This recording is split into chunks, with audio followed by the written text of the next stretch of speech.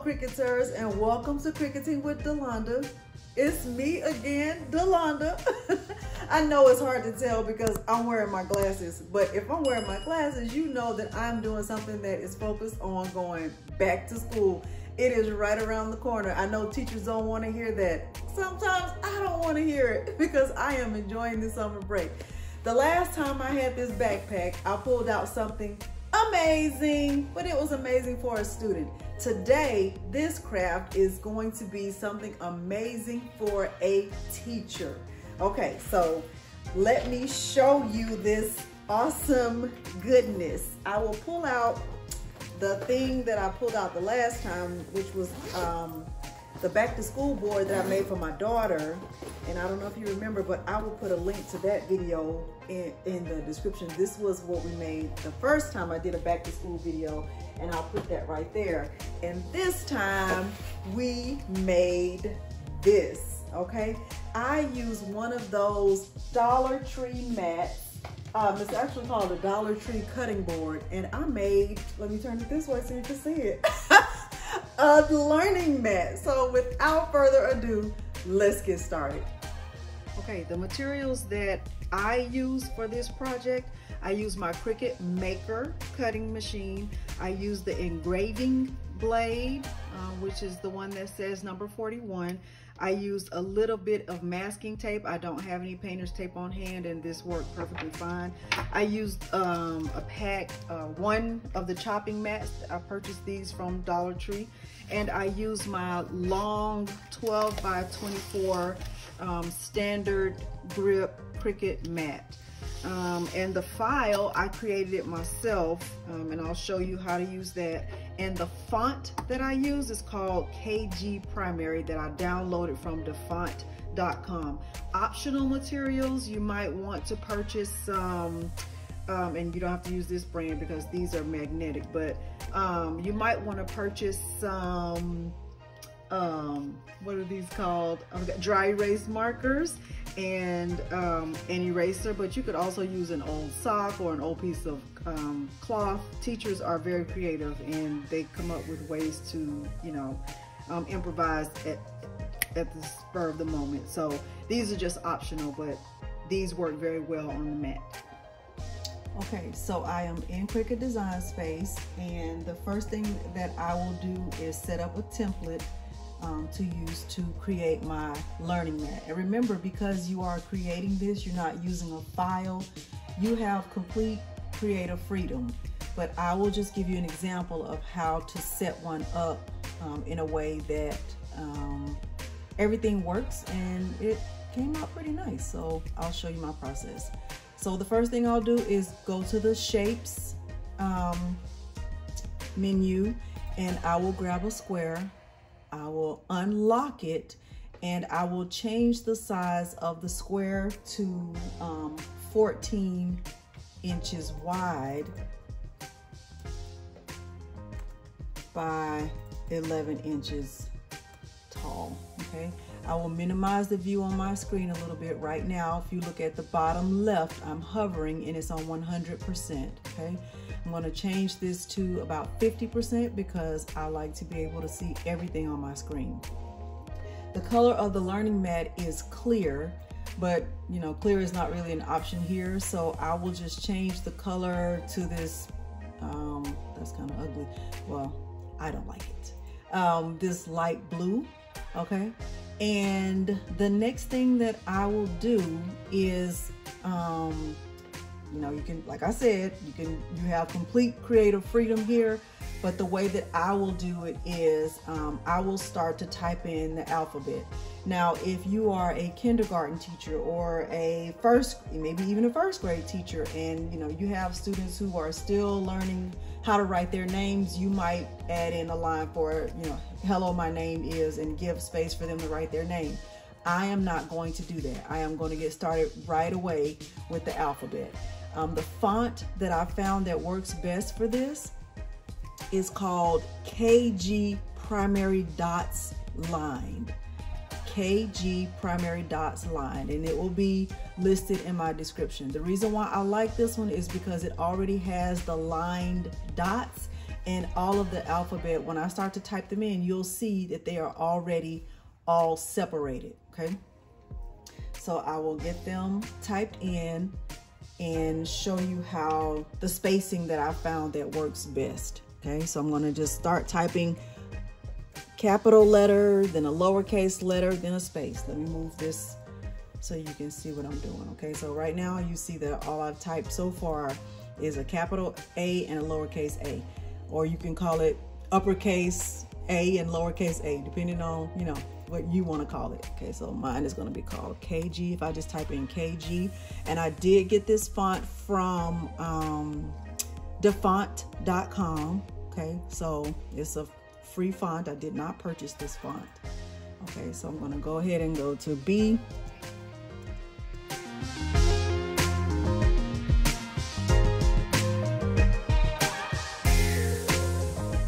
Okay, I think I'm going to delete the H don't want the H.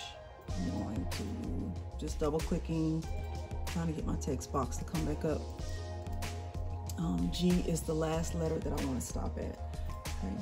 And what I have found is the size that works perfectly and looks really neat on the mat is if I change the width of this, I'm gonna unlock this, I'm gonna change the width to 13.726 and the height I'm going to change it to 1.477 1.477 okay?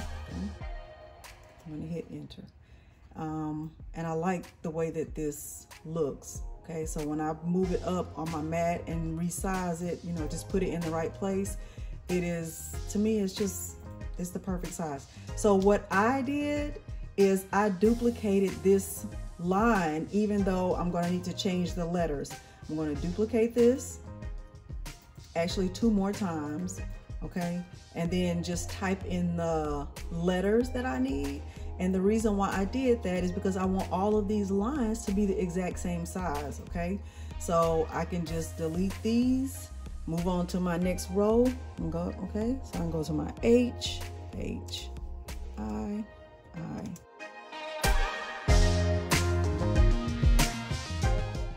okay and while I'm typing I can see you know my spacing I can tell if it looks good I can tell if I need to move anything okay so I have H double check yourself A B C D E F G H I J K L M N. Okay this looks really good. And now the sizing is off a little bit but what do I need to do? Change it to that 13 point look at it because I wrote it down 726 and I am going to unlock this and I want this to be 1.477 okay all right so I'm to go to this one. And you know like I said keep double checking yourself because even though we are adults we make mistakes and it's been a long time since we really you know use the alphabet like that.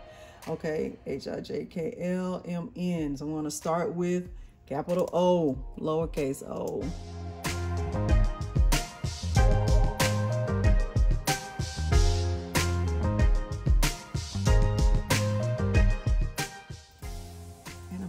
to double check that my, you know, my line is the right size. It looks like this, you know, it changed on its own. I still want to go back and make sure I'm having the right size, 13.726 and uh, 1.477. Okay. So, so far so good. And I'm going to duplicate this line one more time, even though this one is going to end up being shorter. But I'll, I still want to do it that way. That's just what I wanted to do, okay?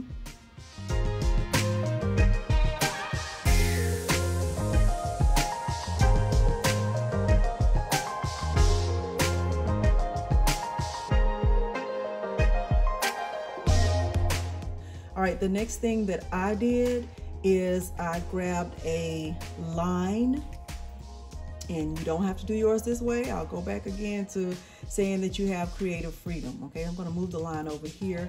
And I know that I want this line to be able to go across this um, rectangle. So, and I know that, you know, if I just try to eyeball it and try to get it straight, I might not get it straight. Okay. So the key to help you with that is first, you know, you want to stretch it out. And if I look here, I'm look at look at where I'm hovering at the top panel where it says rotate. I can tell that it says 89.61, so I know that won't give me a straight line. But I know that if I have it at 90 degrees, that is a straight line, right? Okay, so that is where I want that to be. And I am going to duplicate that line because I want two of them, okay?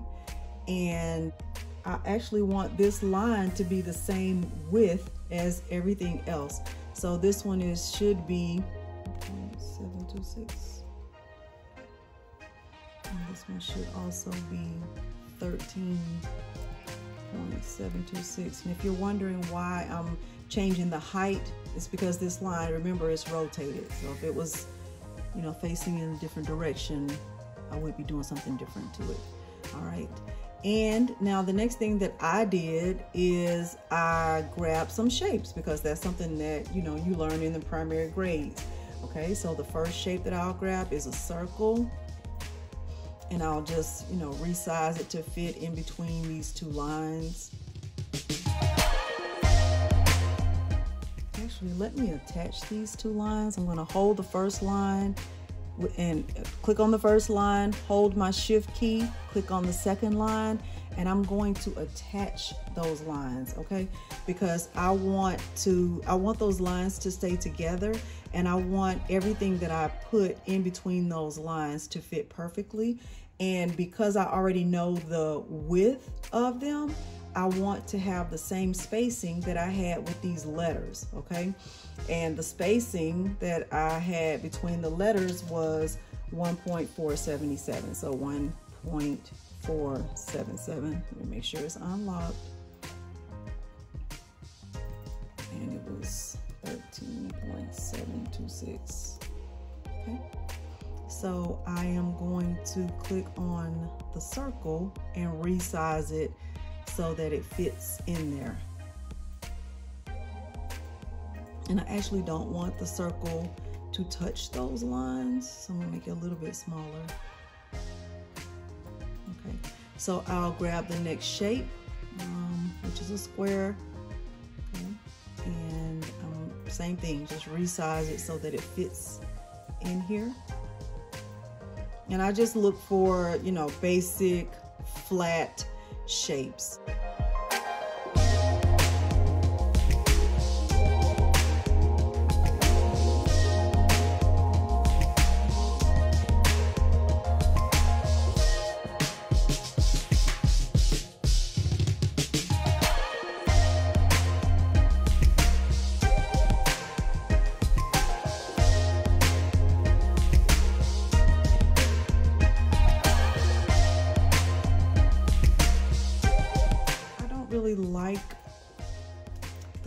Size of these. I actually want them a little bit bigger. So I'm gonna click on those lines again and give myself a little bit more space because uh,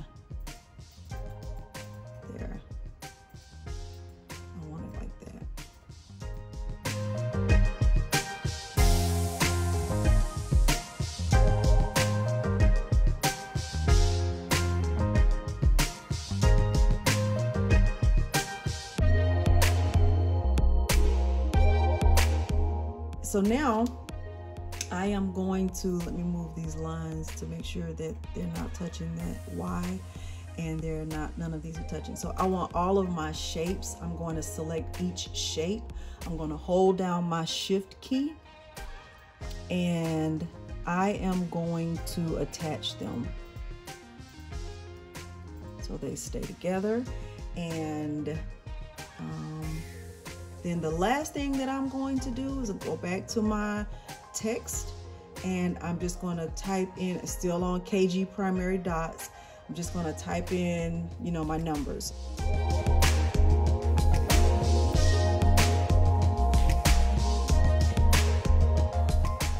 And what am I going to do? I'm going to resize this. I'm going to unlock it up here and I'm going to change the width to 13.726 by the height 1.4, 1.477. Okay, and I like the way this looks. So I can take the whole thing, okay, I am going to hide my mat and I can see that this um, this circle looks like it's a little bit off. So um, well, let me detach these for one second and move that down a little bit. Okay, so let me select all of these and let me align them to the bottom. Okay, I like that, that better. All right, that is much, much better. Okay, and I also still want to make sure they are attached. Okay, so I the next thing I'll do is select the whole thing because now everything is attached the way that it should be. I am going to align it and I'm going to center it horizontally. This looks perfect to me. Okay, so the next thing that I'll do is I will hide this mat because that mat is just a template. I'm not actually cutting that mat at all. I will select the whole thing again and I will choose my operation will be engraved. Okay, so everything on my mat will be engraved and it, it is attached. Okay, and the size of the whole thing is 13.726 by um, 10.533 and that is perfectly fine because the size of the mat is 11 by 14 so I'm still within um, within range. Okay so I will click make it okay? And when I click make it it tells me you should get this message too. At least one of your images is larger than 11.5 which is perfectly fine because you will need your 12 by 24 mat. I am going to use my green standard grip mat, the 12 by 24, the green mat. And um, you see right here where it goes, um, let me, hopefully you can see where I'm hovering at the top over my 11. I am going to move this over just a teeny tiny bit so that it's closer to the 11, okay? And there's a little bit of space at the bottom because I don't want to risk um, the design cutting off the mat, okay? And um, when I get my mat loaded, let me open these so I can make sure to describe that for you. You will feel that one side of it is kind of rough and the other side of it is smooth. When you put your design on your mat, you will be cutting or engraving on the smooth side of the mat. Okay, so I am going to need to mirror my design so that when I have it on my mat, I can see it from the side that looks kind of like frosted. So let me go ahead and click mirror. I'm gonna click OK here first, and then I'm going to click mirror. Okay, then I will click continue. Okay, and the setting, the cut setting that works best for this project is the one that is says um, craft board. Okay, and right now I'm getting a message that my maker is offline, so I hope this doesn't give me a problem, but I already have this design saved, so I've, I've learned my lesson just trying to create and go because it'll turn into hammer time if it, you know, doesn't go well. Okay, it says base material set to craft board. My pressure is on the default setting.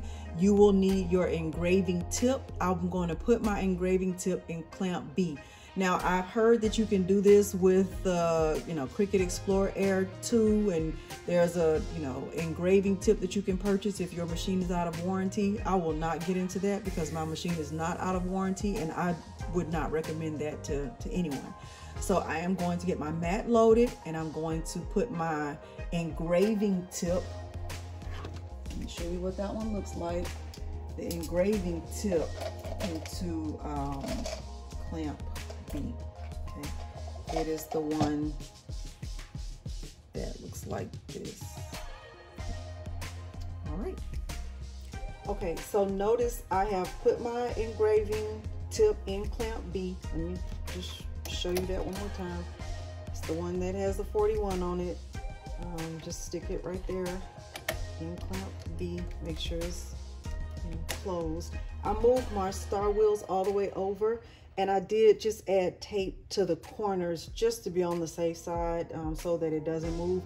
I'm using my long 12 by 24 standard grip map mat and my cut setting is on craft board. I'm going to go ahead and click the C.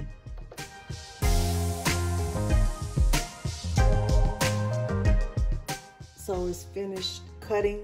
I put this box under here just to keep it steady. It did um, engrave a little bit on the tape, but it's okay. I'm going to unload it and take it from the mat and share my final thoughts with you. Okay, this is the final product. product. This is how it turned out. I did just put a piece of um, black canvas behind it just so you could see the letters better.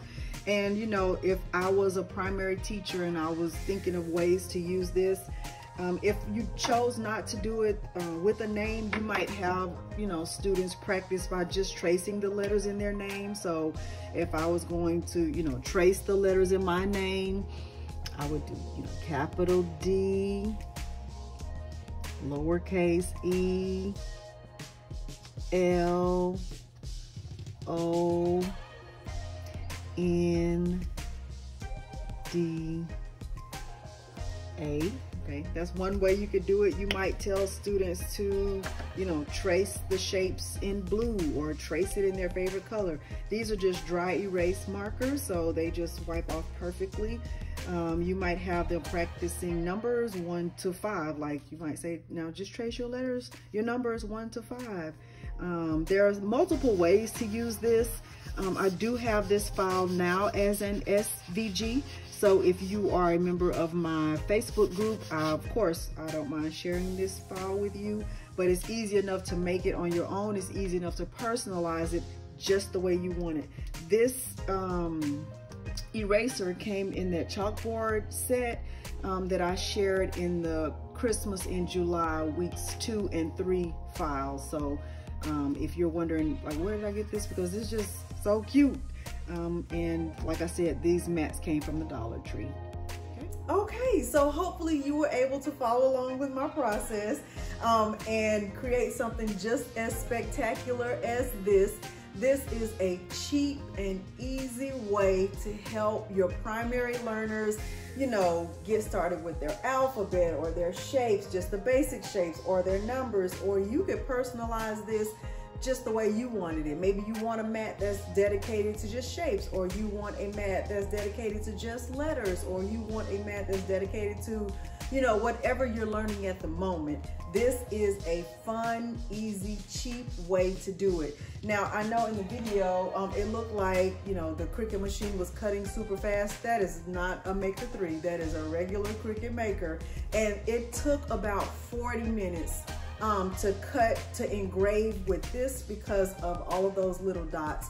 But, um, you know, if you have some tape to get yours taped down and you move your star wheels all the way to the right, you shouldn't have a problem.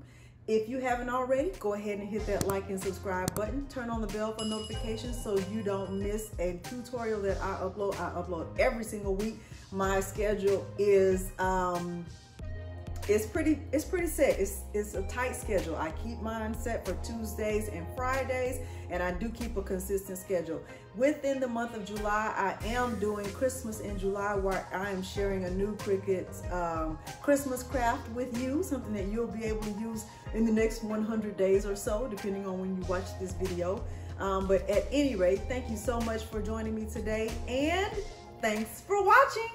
Bye